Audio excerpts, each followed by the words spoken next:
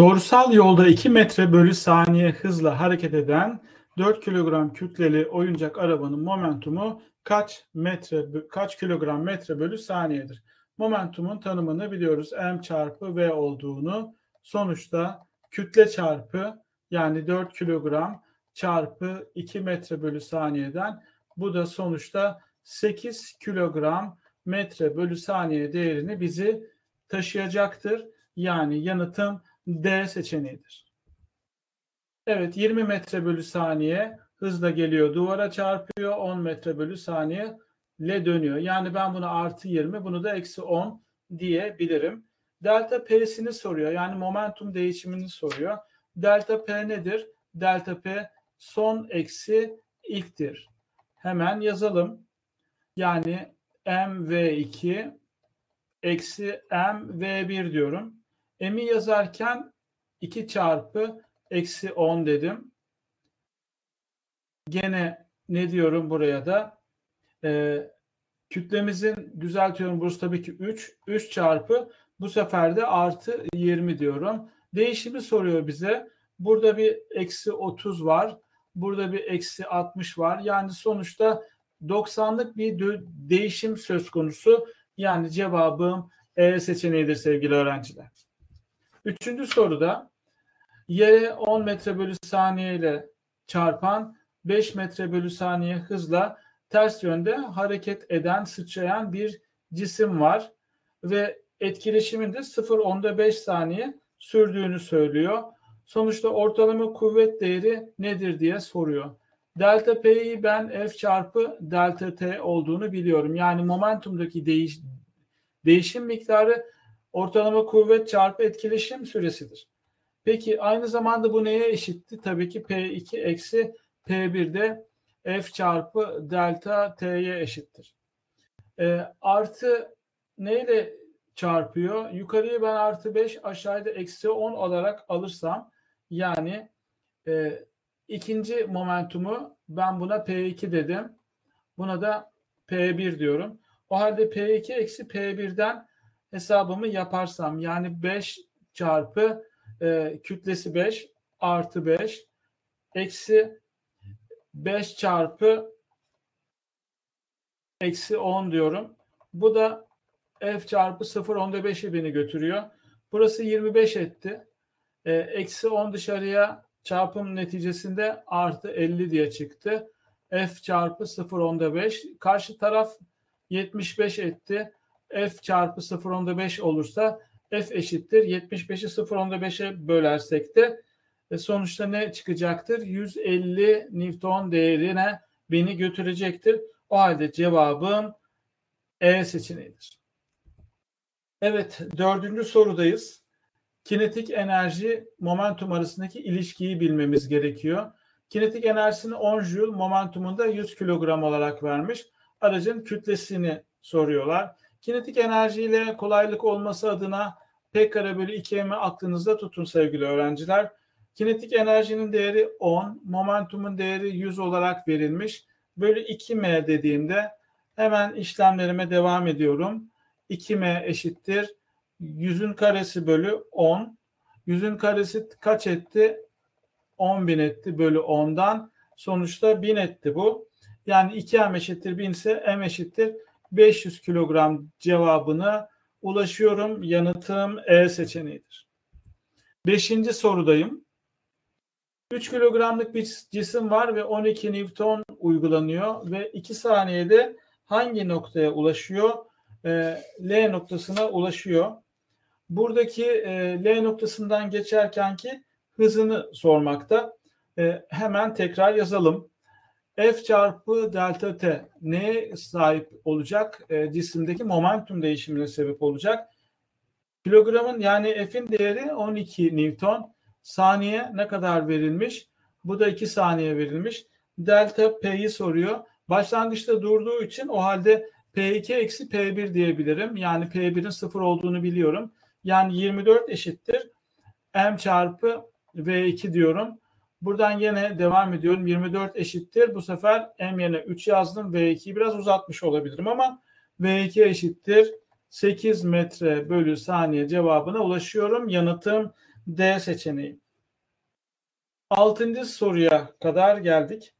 Altıncı soruda e, P1 ve P2 var ve e, aşağı yönlü olanı ne olarak alabilirim? Aşağı yönlüyü eksi yukarı yönlüyü de artı olarak alabilirim. 2 kilogram kütleli. 2 kilogram kütleli ise o halde bu soruyu nasıl yapabilirim? P1'i bulalım. P1 nedir? Ee, P1 aşağı yönlü olduğunda e, ilki eksi 40 kilogram metre bölü saniye. İkinci nedir? İkinci de e, bu da 2 ile 2, 2 ile e, pardon düzeltiyorum. E, yukarı yönlüyü artı olarak alıyorum. Yani P2'yi. O halde bunu artı olarak alırsam e, sonuçta bu da 40 kilogram metre bölü saniye çıkacak. Şimdi delta P'yi bulacağım. P2 eksi P1 yapmam gerekiyor. P2'yi ben 40 olarak biliyorum. E, eksi P1'de tabii ki eksi 40 dediğimde o halde 80 Newton saniye cevabına beni ulaştırıyor. Yukarı yönlü çünkü cisim yukarı yönlendirilmiş tekrar. O halde cevabımız da yukarı yönlüdür. Yani B seçeneğidir. Yedinci sorudayız. Yedinci soruda H1 ve H2 yüksekliğinde iki tane cisim var ve e, yere çarpıyorlar. Yere çarptıklarında aynı momentuma sahiplerse e, o halde H1 ile H2 oranı nedir diye soruluyor. Şöyle yapacağım bir kere yere çarptıklarında aynı momentumlara sahiplerse o halde ben bunun hızına 2V bunun hızına da 3V diyebilirim. E, çünkü 3M çarpı 2V ile 2M çarpı 3V eşittir. Sonuçta başlangıçtan yazmaya başlıyorum. Başlangıç potansiyeli 3mg çarpı h1 eşittir 1 bölü 2 3m çarpı 2v'nin parantez karesi. İkincisinde de 2m çarpı g çarpı h2 1 bölü 2 2m çarpı bu sefer ne diyeceğim? 3v'nin parantez karesi diyorum ve işlemlerime devam ettiğimde 1 bölü 2'ler gitti. 3m'ler 2m'ler gitti. Hiçbir şey kalmadı. Sonuçta H1 bölü H2 oranı da ne çıkıyor sevgili öğrenciler? 4 bölü 9 çıkıyor. Yanıtım A seçeneğidir. Evet burada 40 dereceyle duvara çarpmış ve e, yansımış sonuç olarak. Ben buradaki e, son durumda bu P2'dir. İlk durumda tabii ki P1'dir. Bu da bu da P1'dir. P2 eksi P1'i almak istiyorum. P2 eksi P1'i aldığımda ucuna ekliyorum. Yani delta P nedir sevgili öğrenciler? P2 eksi P1'dir. Bunu şu şekilde de düşünebilirsiniz. Delta P'yi. Aslında burada bir toplam söz konusudur. P2 artı eksi P1'dir. İki tane vektörün toplamıdır. Parantez dışında e, işaret değiştirmeden dışarı çıktığında o zaman P2 eksi P1 çıkıyor. Yani o halde ben ikisinin toplamı olarak buradaki vektörü alabilirim. Buradaki vektör iki tane vektörün uçucu eklenmiş vektörün toplamı şeklindedir. Yani değişim vektörü duvardan adama doğrudur. Yani yanıtım C seçeneğidir. Dokuzuncu sorudayım. Dokuzuncu soruda 10 metre bölü saniye hızla bir aracım var e, ve duvara doğru gidiyor ve yansıdıktan sonra e, geri dönüyor. E, sol tarafa doğru giderken ben bunu eksi olarak alayım. Sağ tarafa doğru giderken de artı olarak alayım. O halde birinci momentumu yazarken birinci momentum P1 eşittir eksi 60 kilogram metre bölü saniye olarak yazıyorum. İkinci momentumu bilmiyorum. P2 eşittir V hızıyla dönüyormuş. Ona da 6V dedim. Delta P yani P2 eksi P1 sevgili öğrenciler neye karşılık geliyormuş? 90'a karşılık geliyormuş. O halde ben buna 6V dedim. Eksi eksi 60 dedim. Sonuçta bu da 90'a eşitliyorum. 6V eşittir artı 60 etti. Bu da 90 ettiği için 6V eşittir. 60 öteki tarafa getirdiğim zaman 30. V eşittir 5 metre bölü saniye cevabına beni götürüyor. Yanıtım B seçeneğidir. 10. soruya geldik. 10. soru nispeten diğerlerine göre birazcık daha zor bir soru. Golfçunun topu uyguladığı itme soruluyor ve 0 onda yani 100 gramsa bir kere bunu hemen 0 onda 1 kilograma çevireceğiz. Çünkü MKS kullanmamız gerekiyor. Metre kilogram saniye unutmayalım. Bunu kullanırsak büyük bir hata yapmış oluruz. Şimdi I'yı ben ne olarak biliyorum? Delta P olarak biliyorum. I eşittir sevgili öğrenciler P2 eksi P1'dir. Başlangıçta tabii ki top duruyorsa o halde bunu sıfır olarak kabul ederim. I eşittir 0 onda 1 çarpı V2'dir. 0 onda 1 tabii ki kilogram olarak. P2'yi de ben bunu da M çarpı V2 olarak yazmama artık gerek yok. Onu biliyorsunuz. Sonuç olarak e, burada ben V2'yi bulmam gerekiyor. V2'yi bulmam gerekiyorsa o zaman menzilden gideceğim. Yani bir kere menzili nasıl yazabilirim? Menzil şuydu. Yani Vx çarpı T uçuştur. T uçuşu da şöyle yazacağım. Vx nedir? V çarpı kosinüs 45'tir.